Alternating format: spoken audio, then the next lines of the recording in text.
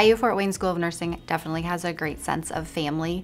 We're supportive of our students, we're supportive of each other. A family that cares, a family that um, guides, a family that coaches. I think we just have a great working relationship with our students. We know them, they know us, so it becomes a little more personal. Which I adore. They'll become like your best friends and it, it just makes the whole experience better. They're always there for you, and I think that people say that a lot at certain campuses, but here it's true. And equally, like, they love to see us succeed. But within the program, you're going to create a community where you trust one another. Once you're in it, you create a cohort for life. Absolutely. I, I feel I've made lifelong friends. In meeting people I wouldn't normally have met otherwise, it's definitely helped me with my personal growth. I just love it. I just love how we just have um, multicultural, multi-ethnic group of people. My classmates, I can see a lot of them just being friends for a long term. Like even if I get married, they'll probably be there at the reception.